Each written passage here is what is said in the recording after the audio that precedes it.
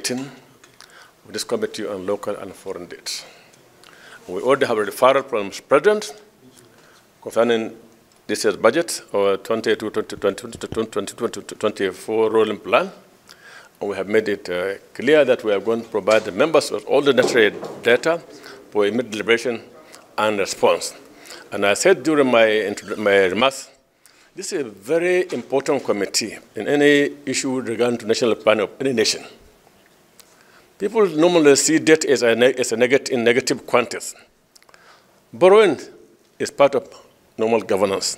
What is important is borrowing for a positive, genuine development purpose, not otherwise.